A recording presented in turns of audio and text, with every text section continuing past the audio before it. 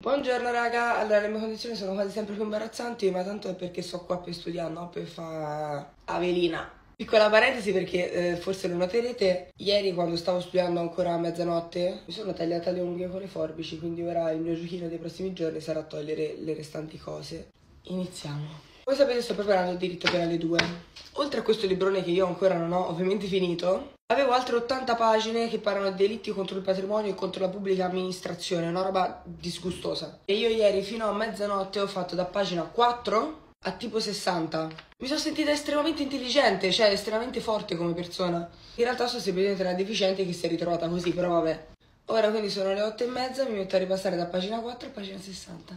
Aggiornamento delle 11.20, non so come sia possibile che sono già le 11.20, però sto andando a manetta facendo anche comunque degli schemini perché mi servono, perché so 3.000 fattispecie, se non ho un ordine mentale poi non ho un ordine mentre ripeto mi perdo. Sono arrivata a pagina 27, adesso facciamo da pagina 28 a pagina 40. Vorrei ripetere altre 3.000 volte ma purtroppo non ne ho il tempo materiale quindi mi dovrò affidare del mio cervello anche se... Eh. Aggiornamento delle 13.20, sono arrivata a pagina 40, schemini sinceramente spettacolari. Adesso iniziamo con la parte dopo ovviamente che ho letto ieri sera alle 11. Woo!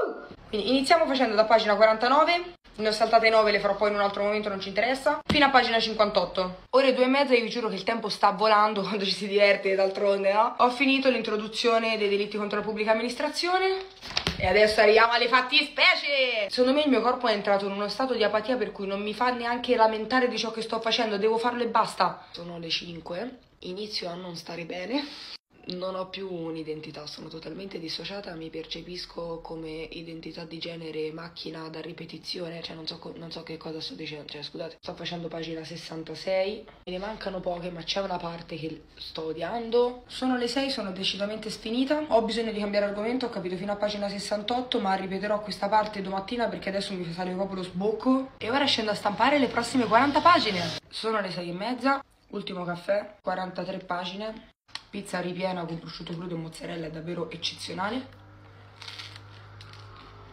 Mi sono spostata a letto perché mi sono rotta le palle di stare seduta a scrivania. Sono ancora a pagina 5 perché mi sono messa a fare tutto tranne che studiare. Non ho più voglia, cioè 10 secondi sì e eh, mezzo no, penso di pisciare l'esame. Però sono davvero piena, cioè... Raga, vi giuro che ieri sono stata più brava, sono fino a mezzanotte, ma oggi proprio non ce la fo. Però magari, capito, almeno prendo le ricariche per domani.